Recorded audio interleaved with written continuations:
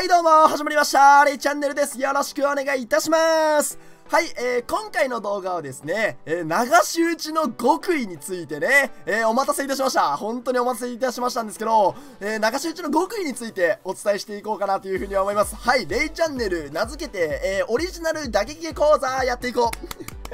はい。ということですね、まずね、流し打ちとはね、何ぞやって思ってる方いると思うんですけど、まあ、リアタイとか、まあ、野球においてね、えー、例えば右バッターであれば宇宙間やライト方向に打つ。で、左バッターであれば左中間やレフト方向に打つことを、まあ、流し打ちって言うんですけどね、まあ、このプロスペースでもね、やっぱりリアタイ流し打ちっていうね、えー、まあ、言葉があるようにね、まあ、あるんですよ。でね、それをやるとね、めちゃくちゃね、あのー、快感を覚えるんですよね。流し打ちってね、すごい気持ちいいんですよね。まあ、美学だよね、美学。うん。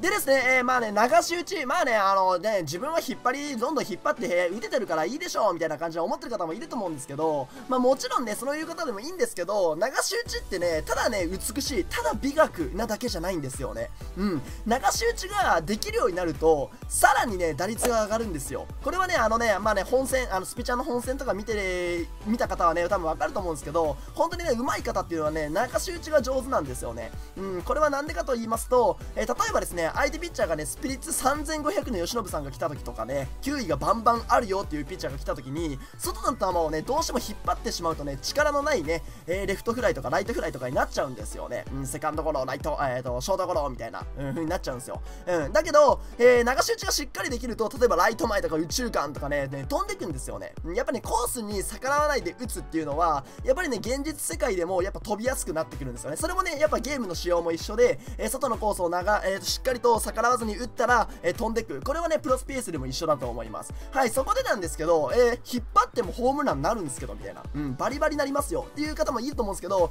そういうことはね、多分ね、あのね、スピリッツが、相手ピッチャーのスピリッツとか球威が落ちてる場面とかだと、結構ね、飛んでいきやすくなるんですけど、やっぱりね、えー、もうモサマッチングとか上位にね、えー、上がっていこうとかね、もっと上手くなりたいっていう方はね、やっぱり相手ピッチャーとかも極みで出てくる選手っていうのは多いと思いますので、そこでね、しっかりとね、えー、流し打ちができるようになると、今の打率からね、またね、さらにちょんちょんちょんってね、上がっていくと思いますので、皆さんね、もしよろしかったら、今回ね、ちょっとね、流し打ちの極意をお伝えします。でね、なんでお前が伝えんねんと。うん。って思ってる方いると思うんですけどね、まあ、大会生配信とかね、今までね、見てくださった方はわかると思うんですけど、まあ、レイチャンネル、まあ、僕ですね、えー、本当にね、流し打ちはね、得意なんですよ。うん、なんならね、引っ張りより流し打ちの方が得意なんじゃないかっていうぐらい、えー、得意なんでね、まあね、あの、最初もね、僕ね、ずっと引っ張りだったんですよね。うん、携帯時代の頃とかずっと引っ張ってたんですけど、で、iPhone 時代に、あの、スタッフのモンキーが流し打ちがめちゃくちゃ気持ちいいって言ってて、え、なんで？と思って、で、とにかく練習しまくって、で、とにかくこうもう、積んで積んで積んでできるようになったんで、皆さんもね、ぜひぜひできると思いますのでね、えー、もしよろしかったら今日の動画でね、マスターしてやってください。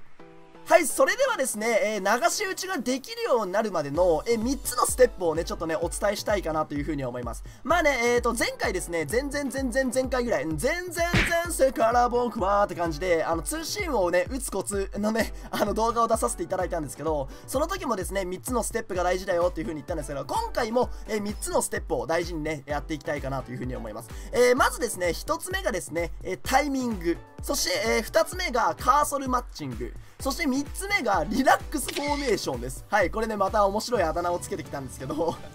じゃあね、まあ1つずつちょっと説明していこうかなというふうに思います。えー、1つ目のね、まずね、タイミングなんですけど、えー、こちらはですね、やっぱりね、えーと、引っ張りっていう時、引っ張りのタイミングと流し打ちのタイミングって、やっぱり変わってきますね。うん。日頃ずっと引っ張ってた人がいきなりね、流そうと思っても、やっぱりタイミングが違ければ、絶対流せないんですよ。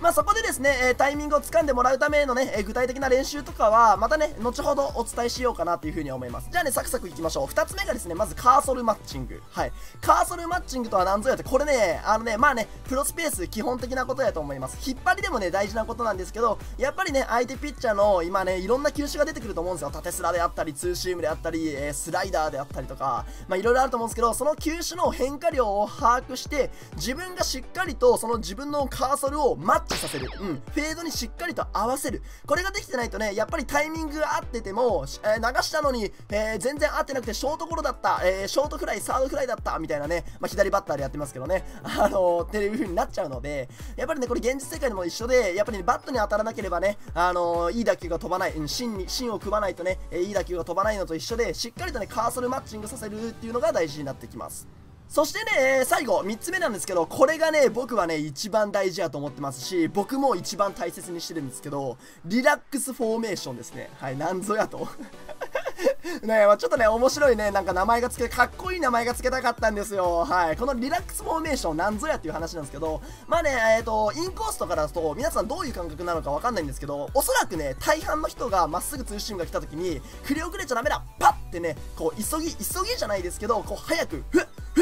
っていう感じで反応してると思うんですよね。うん、やっぱりね、えー、プロスペースも球の速いピッチャーっていうのは本当強いですから、千賀さんとか大谷さん強いじゃないですか。そういった時にまっすぐ来た時に、ふっふっっていう風に反応すると思うんですよ。うん、それをね、外、外角のコースでもやってしまうと、えー、なかなかね、流せることはね、できなくなっちゃうんですよね。あとね、やっぱりね、ツーシームスプリットとかね、回転の似た球もありますので、そこでね、こう、うっうってやっちゃうと、外の球引っ掛けちゃったりとかね、しちゃうんですよ。そこで大事なのが、リラックスフォーメーション。うん、これは何ぞやっていう話なんですけど、一旦外にフェードが現れた瞬間、だから自分がですね、こう、指とかね、タッチペンで構えとって、外にね、フェードが現れた瞬間に、一旦、うっ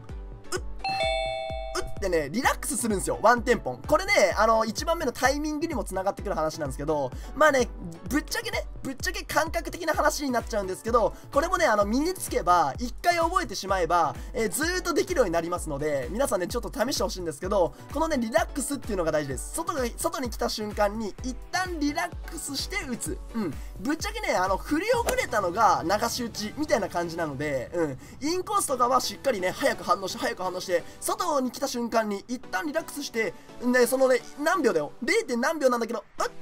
はいみたいな感じで打つんですよね ちょっとね、ここら辺感覚的な話になっちゃうんですけど、まあね、この後ご紹介する具体的な練習法をね、やってみる中で、この3つのステップがね、えー、踏めると多分ね、流し打ちできるという風に思います。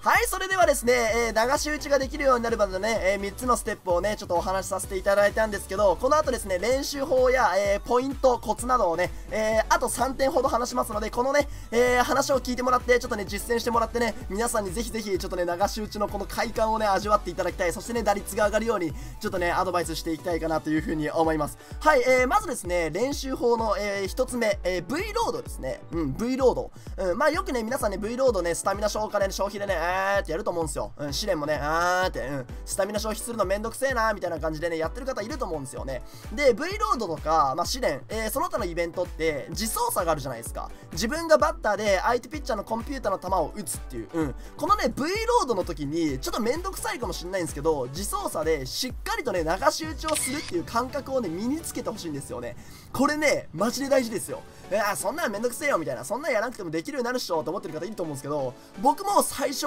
えっ、ー、とね、V ロードとかやるのね、めんどくさかったんで、うん、とにかく適当にすぐ消化したい、消費したい、ランク戦やりたい、みたいな感じでやってたんですけど、スタッフのモンキーがですね、流し打ちができるようになって、えなんでそんな流し打ちできるようになったの？っつったら、お前 V ロードとかで、うん、ちょっとやってみた方がいいよって言われて、まあじゃあやってみるかと思ってやってたら、感覚をつかんでできるようになったんですよね。なんでね皆さんねぜひぜひこの V ロードね、えー、毎日ねこうスタミナが溜まって消費すると思うんですけどその時間ね V ロードを消費する時間も、えー、リアタイが上手くなるための練習をしたら一石二鳥になりますのではいぜひぜひね皆さん V ロードでまずは、えー、流し打ちができる。まあねコンピューターもねいろんな球種いろんなコースに投げてくると思うんですけどまあね2ストライクまでは例えば外だけ待ってみるとかね。で外をしっかりと流してみる。うんこれをね感覚で掴んでみるのがまずはねいいかなというふうに思います。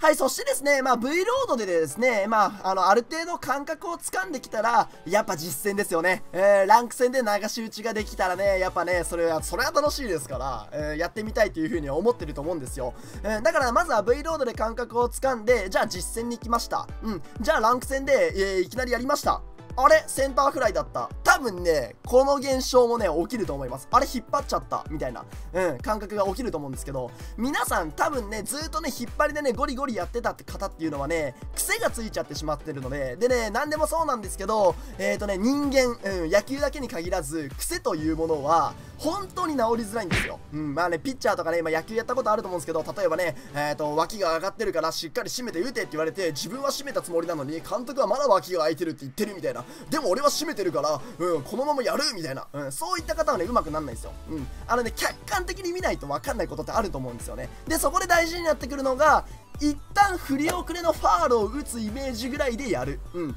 癖を直す時は自分が思ってるよりもさらに極端にやんないと癖は治んないんですよね。うん、だから、えー、外の球をね、引っ張ってしまうっていう方はね、えー、ランク戦でね、実践するときに V ロードではやれたのにね、やれないなっていう方はぜひ、えーとね、外の球を、えーと、例えば右バッターだったら一塁線のファール、えー、左バッターだったら三塁線のファールを打つぐらいのイメージで、え、流し打ちができるといいかなって、うん、そこでね、あ、ファールだった、捉えきれんかったじゃなくてもいいので、うん、だからね、皆さん、えー、流し打ちをね、えー、これを流し打ちをもうね、獲得、自分のものにするためには、えー、一旦ね、打率がね、悪くなったとかね、気にしない方がいいと思います。はい、最初はね、やっぱり新しいことにチャレンジするときっていうのは、えー、ね、やっぱりリスクっていうのはつきものですから、うん、なんでもそうなんですけどね。はい、なんでね、もしよろしかったらね、実践の時に極端に流してみる。これをね、ちょっとね、やってみてほしいかなっていうふうに思います。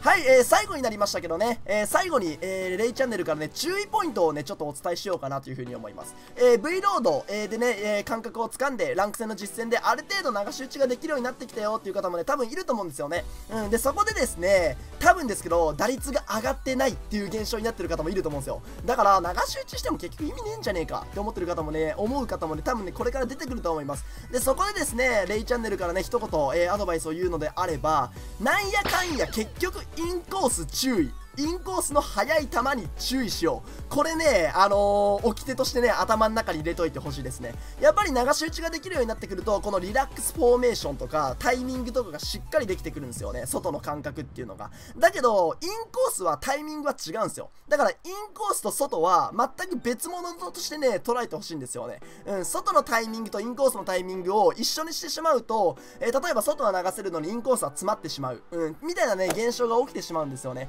だから、あくまでインコースは今打ててる感じのまっすぐツーシームをしっかりと引っ張るんだっていう意識を忘れないこと。でその中で外が来た時にスッと思い出して、え、体で覚えたリラックスフォーメーションを発動させる、うん、これをねできると、え、流し打ちそして引っ張りもできるようになって打率もさらにぐんとアップするんですよ。もちろんね流し打ちができて引っ張りがしっかりできるようになれば打率っていうのはね、え、しっかりと上がってきますので皆さんねぜひぜひちょっとね参考にしてみてほしいかなというふうに思います。はい、えー、長々とね、ちょっとね、喋ってしまったんですけど、今日はですね、えー、流し打ちの、えー、コツについてね、ちょっとお話しさせていただきました。えー、本当にですね、まあ、流し打ちができるようになると、ちょっとね、新たな世界っていうのいうのも見えてくるんですよね。で、僕のね、えー、レイチャンネルのクラン、アットレイのクランの中で、えー、iPhone 勢のね、えー、フォーエバーさんっていう方がいるんですよ。第2回レイチャン杯で優勝したフォーエバーさん。もともとね、まあ、今も iPhone 勢なんですけど、ずっとね、引っ張りだったんですよね。うん、だけどね、やっぱり最近ね、こう流し打ちを覚えて、対抗戦とかでもバンバン流し打ちのホームラン打つんですよ。でね前ねあのやり取りした時にやっぱ流し打ちめちゃくちゃ気持ちいいです。って、うん、ハマりましたみたいな感じで言ってたんでで打率とかもねぐーんとアップしてますので今、うん、なんでね皆さんもねぜひぜひやれると思いますので、えー、もしよかったらね、えー、参考にして、えー、皆さんでね流し打ちをマスターしてやってください。ということでねちょっとね皆さん、えー、長々と喋ってしまいましたが流し打ちができるように、えー、ちょっとね全力でお伝えしたつもりです。ということで皆さんまたね動画やライブ配信でお会いしましょう。チャンネル登録と高評価の方よろしくお願いします。いたします。それでは皆さんバイ。